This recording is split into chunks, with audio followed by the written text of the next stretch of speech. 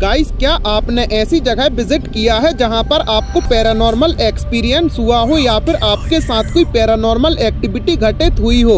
हम अपने आसपास के लोगों से कई ऐसे किस्से सुनते हैं जिन पर विश्वास करना बहुत ही मुश्किल होता है। लेकिन हकीकत में ऐसे किस्से या खौफनाक अनुभव हमें इन पर विश्वास करने के लिए मजबूर कर देते हैं। पूरे विश्व भर में ऐसी कई घटनाएँ घटने के दावे किए जाते हैं जो दर्शाते हैं कि आत्माएँ भी हमारे आसपास घूमती रहती हैं। चलिए जानते हैं चीन के एक रहस्यमय बस का सफ़र करने का दावा करने वाले लोगों की कहानी को और सोचते हैं एक बार फिर से कि क्या वास्तव में ऐसा होता है। गाइस, चीन के बीजिंग में मशहूर रहस्यमय बस का सफ़र नाम से ये कहानी काफ़ी टाइम से लोगों में इधर से उधर हो रही है। 14 नवंबर की सर्द रात में एक वृद्ध और एक जवान लड़का दोनों बस नंबर 375 का इंतज़ार कर रहे थे। दोनों के बीच नॉर्मल बात चल रही थी। ठंड की वजह से सड़क सुनसान और कोहरे से ढकी हुई थी।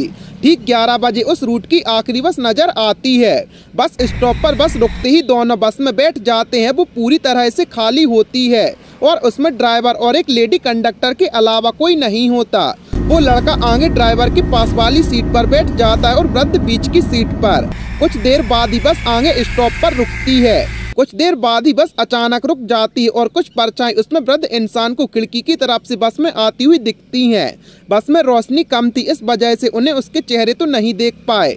लेकिन उनकी हालत देखकर ऐसा लग रहा था जैसे बीच वाले व्यक्ति ने नशा कर रखा हो और दोनों साइड में लोगों ने उसे सहारा दे रखा हो। बस फिर से चल पड़ती है और बस में वही शांति एक बार फिर से छा जाती है। बस चले हुए कुछ ही देर होती है कि उस वृद्ध व्यक्ति ने आगे बैठे नौजवान से बहस करना शुरू कर दिया।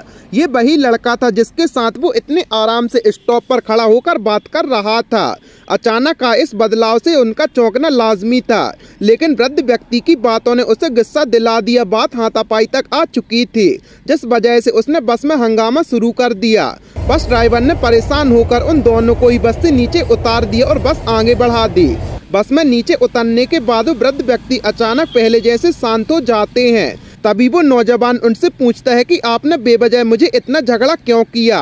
वृद्ध व्यक्ति ने उसका हाथ पकड़ा और बोला, बेटा, मैंने तुमसे झगड़ा नहीं किया, बल्कि तुम्हारी जान बचाई है। लड़का हैरान खड़ा को समझ नहीं पाता कि वो ऐसा क्यों बोल रहे थे।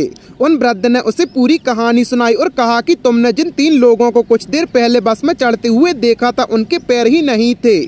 उनका शरीर हवा में तैर रहा था। ये सुनकर लड़का बुरी तरह से कांपने लगा।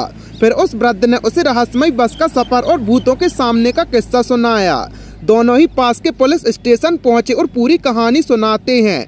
उनकी बात सुनकर पुलिस चौकी वाले भी सभी लोग उन्हें पागल समझने लगते हैं। दोनों ही चुपचाप अपने अपने घर चले जाते हैं। लेकिन अगले दिन के अखबार में उन्होंने जो छपा हुआ पढ़ा उसने उनके और पुलिस दोनों के होश उड़ा दिए। जिस कंपनी की बस इस रूट पर चलती थी, उसकी ओर से बस ड्राइवर और कंडक्टर के गायब होने का दावा किया गया था। पुलिस ने आनंद फानन में दोनों के पता तलाश किए और दोनों ने मीडिया को अपनी कहानी शेयर की, जिसके बाद पुलिस ने बस की तलाश का काम शुरू किया। अगले ही दिन बस के एक्सीडेंट की सूचना पुलिस को मिलती है। ये बस वही होती है जिस रहस्यमय बस का सफ़र उन दोनों नौजवान और वृद्ध व्यक्ति ने किया था और पुलिस को बताया था। बस को पानी से बाहर निकाला जाता है तो खौफनाक दृश्य देखने को मिलता है। उसमें ड्राइवर और कंडक्टर की लाश मिलती है, साथ ही तीन और सड़ी गड़ी लाशें मिलती हैं। चौंका देने वाली बात ये थी कि मैच 48 घंटे में उन तीनों लाशों को इस कदर सड़ जाना संभव नहीं था। वो भी जब ड्राइवर और कंडक्टर की लाश सही स्थिति में थी, इससे लोगों में ये धारणा फैल जाती है कि वास्तव में वो तीन शरीर प्रेत आत्माएँ थी। लोगों में दहशत फैलने के लिए तीन सड़ी गड़ी लाशें मिलना काफ़ी नहीं था। जब पुलिस ने उसकी डीजल टैंक की जाँच की तो पता चला कि उसमें डीजल की जगह खून भरा पड़ा है। ये सब देखकर पुलिस विभाग भी खौफ में आ जाता है। और उन्हें उन दोनों की रहस्यमय बस का सफ़र वाली कहानी सच लगने लगती है। हैरान कर देने वाली बात ये थी कि बस अपने आखिरी स्टॉप से करीब 100 किलोमीटर दूर जिंगसान शहर के पास नदी में मिलती है, जबकि बस में इतना डीजल नहीं था कि वो इतनी दूरी तय कर ले। इस खबर को पढ़ने के बाद कुछ लोगों का मानना है कि वास्तव में भूत प्रेत का अस्तित्व होता है और इस घटना के लिए भी वो जिम्मेदार हैं। लेकिन कुछ बातों का आपस में तालमेल सही ढंग से नहीं बैठ रहा है। जैसे कि आपने गौर किया होगा कि पुलिस का कहना है कि बस के टैंक में डीजल की जगह खून भरा पड़ा था। वहीं दूसरी ओर एक्सपर्ट का कहना है कि बस में इतना डीजल नहीं था कि वो इतनी दूरी तय कर सके। इसके अलावा पुलिस को बस में सड़ी गली लाश और सही कंडीशन में लाश मिलती है। तो सवाल ये उठता है कि क्या ये संभव है कि वो सड़ी गली लाशें उन्हें बस में मिली हों? अगर वो लाशें घटना स्थल के आसपास मिलती तो उनका तालमेल समझ में आता, लेकिन इस तरह से नहीं। अगर आपको कुछ समझ में आता है तो हमें कमेंट कर कर ज़रूर बताएँ और ऐसे ही अमेजिंग फैक्ट्स के लिए अपने चैनल को सब्सक्राइब करें।